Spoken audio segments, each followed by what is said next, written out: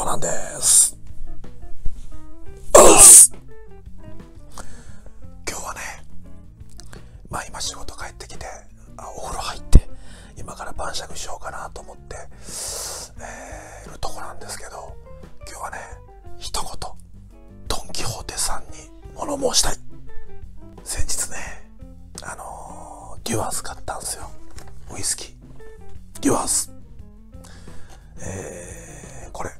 おまけ付きのデュワーズです。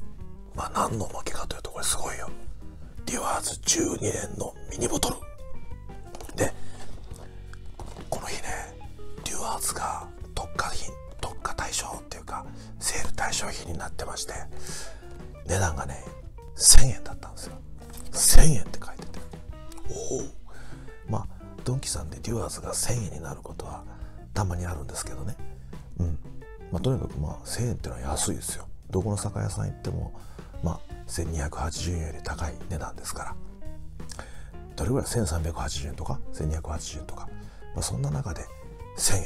しかもおまけ付き。買うしかないでしょう。ということでもうパーンと買ったのはちょっと前のね動画で見ていただいた通りなんですけど今日ショックなことを発見しました。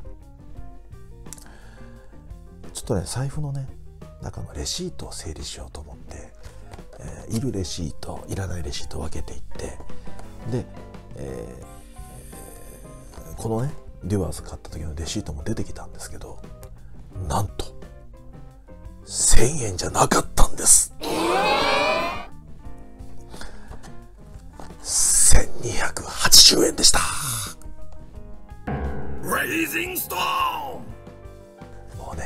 あの時いっぱい買ったから全然気づきませんでした。でぶっちゃけねあの1280円が高いとは思わないですよ、うん、こんな素敵なおまけもついてるし。1280円でも買ったとは思いますけどでも僕は1000円で買えたっていうことですげえ感動してたんですよ。あの、まあ、このミニボトルだけでもし買ったとしたら多分350円ぐらいするだろうから、えーまあ、350円しないかな、まあ、するかな、まあ、300円としましょう。300円としたらこれ700円で買えたよなんて、えー自己満足に浸ってたんですけど。蓋開けてみたら安くなってなかったっていうね。でいいんです、まあ、それはいいんです。1280円でもいいんです。ただ一言言いたいのはねちゃんと書いとけよ。デュアーズ1000円って書いてたらこれも1000円だと思うじゃないですか。あの大体ね一般の酒屋さん、まあ、山屋さんとかそうなんですけど、えー例えばあの以前買いましたあのスコッチのジェムソンね。あれジェムソンが例えばその、えー1680円だったらおまけグラス付きも1680円なんですよ。必ず同じ値段で売ってるんです。だからあのお買い得なんですよ。まあどこの店でもそうだと思うんですけどね。ただドンキさんこれ1000円で売らなきゃダメでしょ。うん。で違うなら違うでいいですけどこっちにちゃんとポップつけといてください。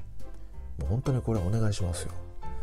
であの以前もねスコッチののベルベルがあるんですけどベルに長いこと値札がなかったんですよね。いくらかわからない。だからベルは買わずにやり過ごしてたっていう時期もあります。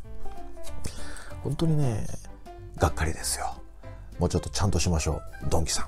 安いのは偉いけど。ということで、えー、油見長男からの残念だったなという報告でした。じゃあね今日飲むお酒なくなったからねリバーズあげます。がっかりだよ。ってまあせこいこと言うなって思われる方もおられるでしょうけどあの一回ねこう喜んだ後に落とされると加速度がつく。はい。リバースこれね最近知ったんですけどねこの箱で初めて分かったんですけどあのーこれもねダブルマリッジっていうかダブル H 方法。要はあのーモルトとグレーをね、えーブレンドした後もう一回樽に戻すという方法使われてるらしいです。ねえ。これもダブル H ね。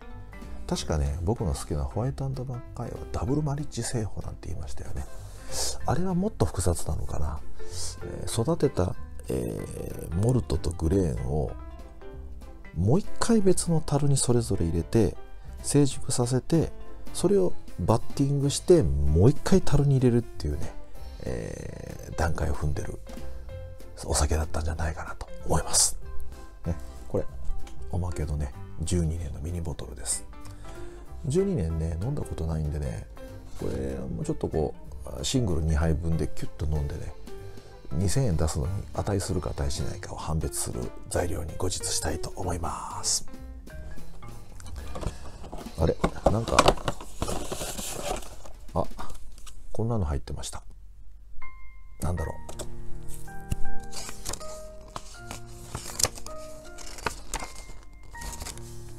う。うん。まあ単なる紹介ですね。ちゅうことで今から晩酌を始めたいと思います。それでは皆様とこの辺でまた。